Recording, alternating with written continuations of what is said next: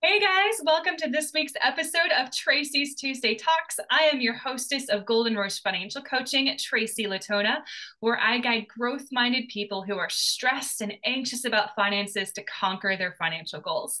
I have with me today an, a very, very special guest, Jasmine Paul, whom I am just stupid excited to have with me today. And today's topic is going to be about kids and finances. Jasmine Paul is a published author. She writes uh, kiddos books on, on finances called the Wealth Playground series. So, Jasmine, thanks so much for joining me today. Tell me a little bit about you and your story and what led you to write these books. Hi, Tracy. Thanks so much for having me. such an opportunity to share with you and your audience um, about financial literacy and a little bit about my journey. So, thank you so much.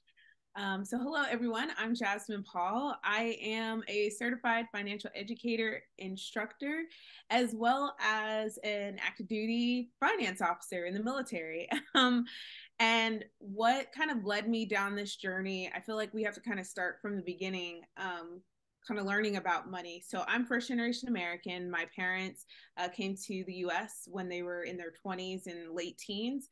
And um, in the Caribbean, it's kind of taboo to talk about money.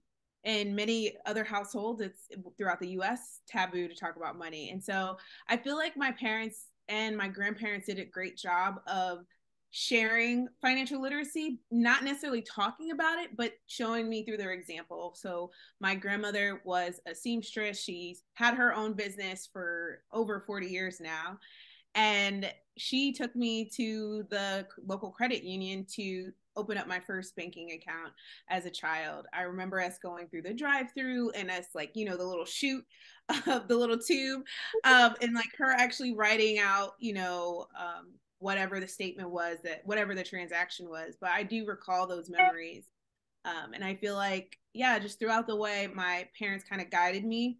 I kind of lost my way a little bit when I was in college. I ended up getting a student loan um, I was really good about credit cards because my dad was like, you will only use this card for emergencies. And I think I only had like a 500 limit, anyways, $500 limit.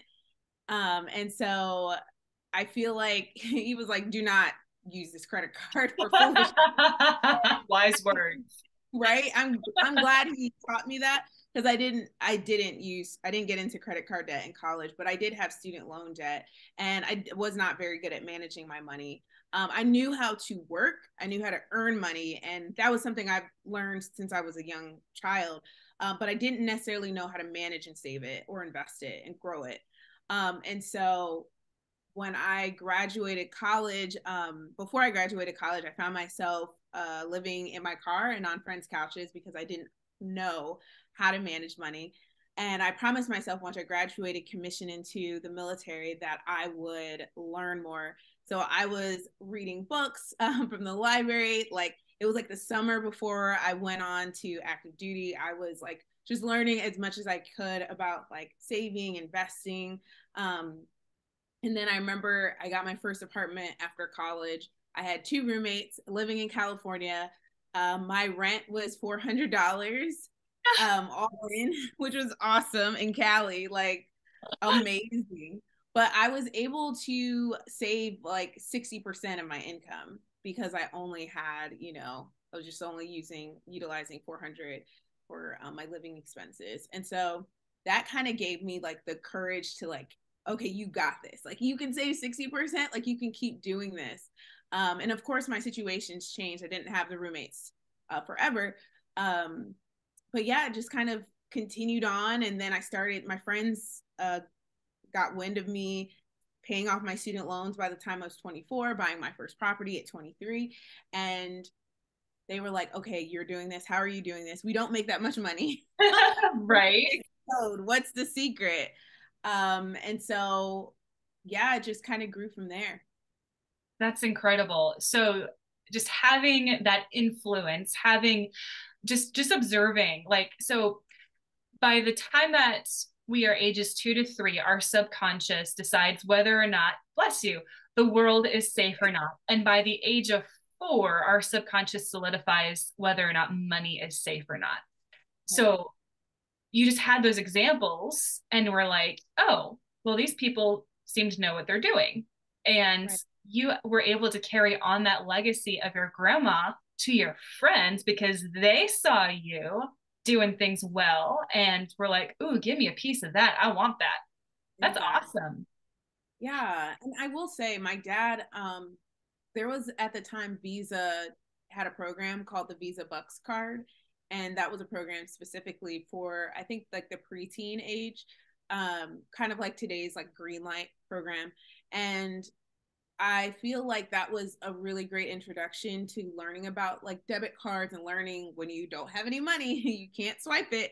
Um, I learned that lesson but it was it was nice to have like this controlled environment of being able to spend uh, for the things that I really want, but also kind of have my dad monitoring my statements and and what I was doing. And once that money ran out, the money was gone, so I couldn't couldn't do anything else.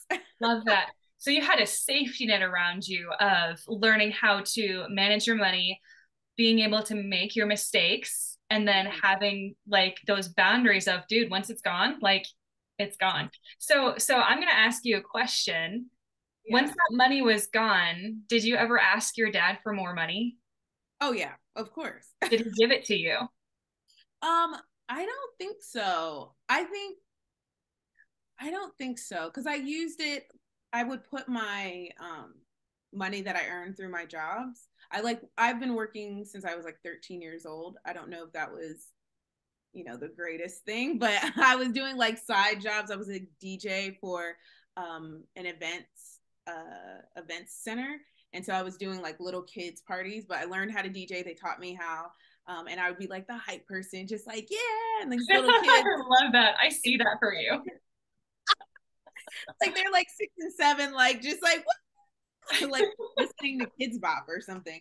But um, so I I would put like my side money on it, um, and then he would put, you know, like a monthly allowance on it. But um, yeah, if it was not within the month of like renewal, like if he had already renewed it and I used the money, then no, he wouldn't re up. But if it was like, hey, I'm trying to do this, whatever, and he and he thought that it was, I guess, worthy for him to you know add some extra money to it then he would but for the most part my dad was like pretty strict about like you don't just like I'm not like this bank that you can just yeah. walk up to and get money from. Right.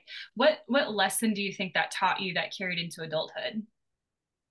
Um one, I think it taught me I had to work. Like that was yeah, I I did not ever look to my parents for help and I think that's what landed me into my situation my senior year because I was so adamant on figuring it out myself um although I will say my parents did help me, my both my mom and my dad helped me throughout college. I am very grateful for them. Um, my mom helped me with like rent uh, my junior year, and so and throughout just college, my dad helped me with summer classes and different things like that. But um, I think I was always determined to figure it out myself. I love to work. It was enjoyable for me, especially if it was something that I actually enjoyed. Um, I knew how to make money, and so I think for me, it just showed me that, yeah, like there wasn't really someone that I could really ask for help. I just had to figure it out myself. And in hindsight, I did have this community of people who would have absolutely helped me out. Um, but I think for me, it kind of showed me like you can figure it out. It might be a little bumpy along the road. It might not be the greatest experience. Um, but for me, it was yeah, like you can definitely figure this out. It might be a little hard, but you yeah. can figure it out. Yeah. yeah. So that kind of transitions right into one of the points that you wanted to touch on was you get to rewrite your story no matter where you're at. Absolutely. Yes, I think it's important. I think um, when I speak to people about personal finances, um, a lot of people are stuck in kind of they've been living in a cycle of paycheck to paycheck. Um, either they have some financial trauma with their experiences throughout their childhood or even into adulthood. Um, and that, you know, like, well, I'm such a, I'm so bad with money. I can never be good with money. And I think for me, it's you, if you have an opportunity to wake up tomorrow and you have breath in your lungs and you have you know abilities and skills and gifts that were given to you um, that you have an opportunity to change your money story. And i don't think yeah i don't think it's over until it's over. You know what i mean? Like you can always switch it up. You can always um, figure it figure out something new for you. And i will say like the things that i did back when i was in my 20s are not things that i necessarily do in my 30s like i I wish I could save at a 60% savings rate. I cannot. Like inflation is real, the economy is real. Like I don't have roommates um like I did back then. Rent is ridiculous. Like mortgages are ridiculous. You know, like things are not as affordable as they were back then. I also didn't have all like the responsibilities that I do now in my 30s versus in my 20s. And so um, I have to rewrite a new money story, right? Like when you lose a job, you have to rewrite a new money story. If you have you add a family member to your household whether that be a child or whether that be an adult a parent um, you know your caregiving whatever like you have to rewrite the story. And uh, it's not over until it's over. Like you can absolutely push to the goals that you desire. Preach it sister. Mm, we are on this a very similar if not the same mission. I love it. I love it. I love it. So what led you to write books that were aimed for kids on personal finance? Yeah, so um, I started talking about personal finance again with my friends. They started uh, becoming debt free, um, and then it, I know it's it was awesome. Yes. Um, and then I started doing workshops. I was really targeting at the time um, adults adults between the ages of like 25 and 40 who were kind of at a place where they just had given up hope. They've tried different services, they've tried different courses and workshops, and nothing had seemed to help. And so those were who those were the people I was I was targeting at the time. Um, and then the pandemic hits, and I'm like, wow, I felt like my family and I were talking a lot more about money. We were having conversations about the stock market. We were having conversations about retirements, um, wills, trusts. I mean, saving everything. And so my my sister kind of like kind of sparked this idea because we were talking more about money. I I talked to her more about money than I'd ever I feel like we ever had in the her entire adulthood or childhood. Um, she was in her senior year of college, or sorry, of high school, and I was like, wow, like we're having these really great conversations. I wonder if parents are having these conversations with their kiddos. Um, and then I started doing some market research, and I was like, oh my gosh, like there's such a great market for kids books like kids books that are easy that are not complex that will share like a cool unique story but will also teach um, the basics about money and so that's kind of where that my first book a boy a budget and a dream was birthed amazing. So what age are your books geared towards? Yes ages five to nine.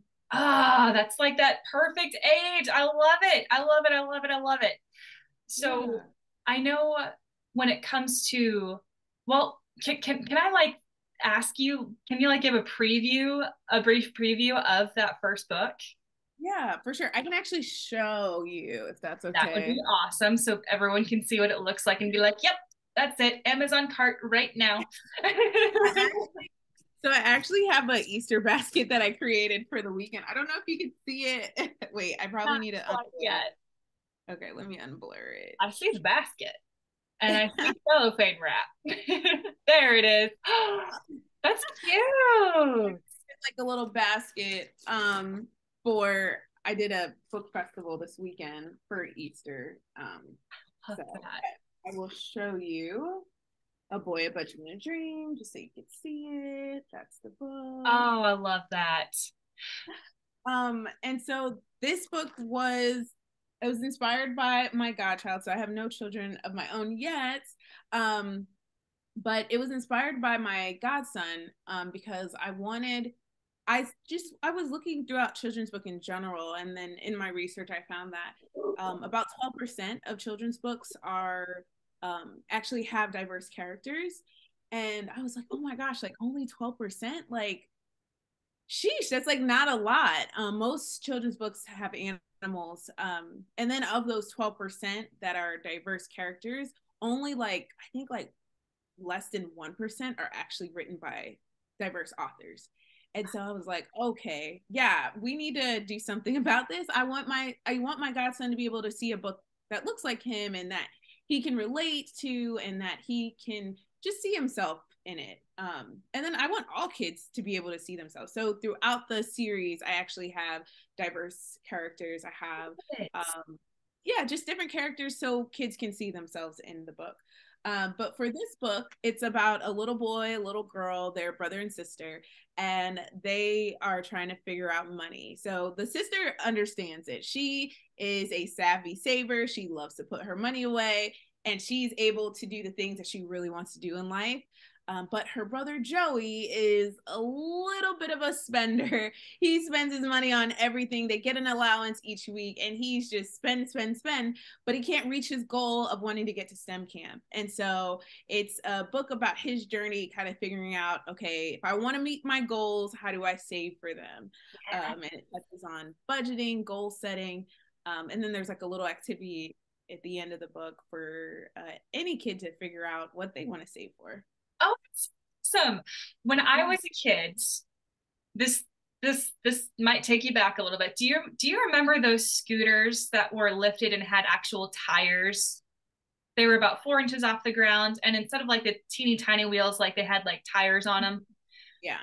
That was my saving thing. I think it was like 10 or 11, and it was like pink and purple and had fairies on it, and it had the handbrake on it. And like, I remember going to Toys R Us and like going with my stepmom and like pricing it out to figure out how much I needed to save for it. And um, I, I earned a commission, so I had to work for, I had to do chores and whatnot. That's how I, I earned money. And it was in cash. Like, this was kind of a little bit before digital banking really started taking off. So I got cash. And I remember like saving up like I had this wad of one dollar bills. Like I remember taking my little I had a little like piggy bank safe and just opening it up and my like you just saw this big wad of like 124 one dollar bills. And my dad was just like holy cow. And I went to Toys R Us and I bought that scooter and I was so proud of it. And I took such good care of it because I worked for it. I bought it. I paid for it. I paid the taxes on it too. Great, that's awesome. So I think that those stories are are necessary like i think you have to empower children to make those decisions for themselves. Um, but i think of like all those like i look at like the toys that kids get and i'm like when do they ever remember that? Like you remember that experience because you worked for it you had your plan and that was like one thing you know for your goal. If i look at like all the christmases and holidays i cannot the only like memories I have are like uh, when we went on a trip and went, you know, explored somewhere new. Um, I do recall my mom getting me these Timberland boots that I wanted for Christmas, but outside of that, like, I can't recall like any of the gifts that I got, you know? Such a great point. I love that point. Like the things that are given to us that are just like, hey, here you go. There's not that neural tangible attachment to it. Like our brain looks at it differently. Mm-hmm. And it's so much different when you work for something, when you save up, when you have that delayed gratification, when that patience is built in. And right. then then you get that endorphin rush times 10 or however big it is because like that's the reward that you get for doing all that work. Absolutely. Oh, I remember um a few weeks ago my mom and i were having a conversation about i don't know it was i don't know what sparked the conversation but we were talking about um me taking driver's ed. So in the state that i grew up in you could be like 15 in 10 months to get your uh, permit and then you could take it the driver's ed like when you're 15 in 5 months or something like that. And you could also take it in school. And i remember i tried to sign up for it in school, but they were like, "Oh, you have to wait until the next year." And I was like, "Whoa, no, no, no! Like, I, like I need to start driving soon. I have a job. Like, I want to start driving as soon as possible. Like, I don't want my parents to say, "Oh, we're not going to get your car because you don't have your license." Like, I need to make sure I dot all my I's, you know, cross all my T's for this for this thing. And so I saved. It was like four hundred twenty five dollars um, to take it at the YMCA and I saved my money. I registered for the class. I took the class over the summer. Um, I was very adamant about getting my driver's license. I didn't want anyone to say that Jasmine couldn't drive. And so I remember my mom was like, Do you remember that? And I like had totally forgot about that time. But I for me, like I recall like every month just putting a little bit towards that, you know, $425, backing it out. So if the summer program was in July, I like started in January and it was just like a little bit of money here and there. So that would grow in order for me to to get that um that program. But I ended up doing it. And like I feel like like you said, like that scooter, my driver's permit, like those are things that kids will remember. And those are behaviors that hopefully they will continue into adulthood. Absolutely. Absolutely. What are some of the hurdles? Well, let's discuss hurdles about teaching kids about finances. Yeah. What are some of the things that you've seen? Um, I always hear parents say that they're not good with money. How can they teach their kids? And I I think um or caregivers, I, I find that sometimes adults we underestimate kids. Kids are so smart. they are very intelligent. Like kids nowadays are like three or four navigating iPhones and iPads and Kindles and different things. Like they are very, very intelligent. Do not underestimate children. Um, and then also children are very aware of wants versus needs. Like when they ever they go to the grocery store and you're taking them, they will grab just about every, oh, I want this, I want this, I want. They know, they understand wants. But you say, no, okay, we can't afford that, or that's not on the list today. And then you put it back we only are going to get our needs, right? Those are the things that we need at this moment in time. But they are very capable of um, understanding. I think, uh, I think maybe because of the generations we grew up in and how money maybe wasn't a topic of conversation at the dinner table or just in the household in general, I find that uh, some adults are are not necessarily unwilling; they're just like a little bit of afraid to share um, I think it's important for kids to learn from your mistakes and learn um, of the things that didn't work for you. And hopefully that might be something, you know, spark something in them to not do it. Or maybe they will go down that path. Who knows? But maybe they'll go down that path differently. Um, but I think being okay with being honest with your situation, I think being okay with being honest that we don't have, you know, we're not living like this massive, you know, excessive lifestyle. I think being honest about that, that's okay. Um, I found for I've actually it's interesting because I know a family who they lived in a very, very large house and they actually they didn't downsize, they just they moved to um, a neighborhood that had just the homes were smaller and the kids are young. They're like super young probably under the age of six and they were like complaining about their bedrooms being smaller than their other house. And i think that's a great learning opportunity right? Like we can't live in that house forever. Our job made us move. Um, but don't equate the size of your room to your worth or to um, just what we have. Like just be blessed. That you have a room of your own like you and your sibling has a room of their own um, that's something to be thankful for but i yeah I, I think unfortunately with social media um, you just have so many people trying to compare themselves I, I think that's a, a huge challenge that you and i didn't have to face when we were you know coming up um, we weren't concerned about what julie was doing on the weekend it, you know in her spare time but now we do have those hurdles of social media and and kids kind of like comparing themselves and and then you have to flex for the gram and uh, like those are things that i feel like we just didn't have to deal with that i think parents will have to have honest conversations about where you are financially and and what you want your your kids or um, the kids that you're caring for uh, to to think about for the future. Yeah. I love that. Just open honest hey this is where we are not creating a mindset of scarcity, such as like, I love that example that you give, like when it comes to needs versus wants, hey, it's just not on the list today versus um, we can't, mm-hmm. because that creates a mindset of scarcity. So wording it in a sense of like, hey, it's not on the list today, that doesn't put the the the child's subconscious into that oh survival mindset. There's not enough to go around.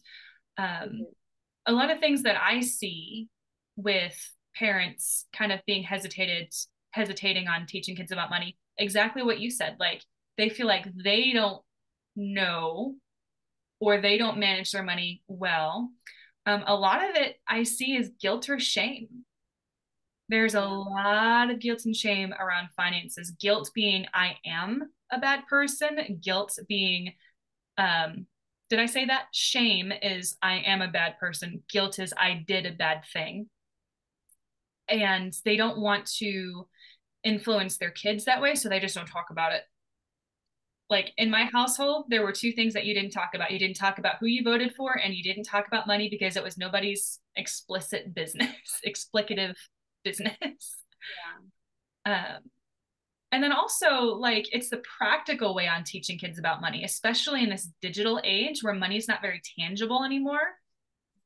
It's hard to equate reward with numbers on a screen. Right right for sure. I uh, agree with that. yeah so those are all hurdles i've seen on parents teaching their kids about finances. Um, cash is still a thing guys. Cash is still amazing. You can still go to this thing called the atm and withdraw it and be like here's a dollar for this chore and here's five bucks for this chore and if you mow the lawn it's ten dollars that kind of thing. Um I think but, so i'm i'm into you know digital as well. I have yeah digital banking. Um i do carry cash for um like for some things but most things are on my cards but i do think we underestimate like the power of spreadsheets and just viewing things kind of written out. I still do a um, handwritten budget just so i can understand what's going on. Um, i think it's important. I think you know, you can get lost in the numbers, you can get lost in the spreadsheet, you know, wanting it to equal to zero or, whatever.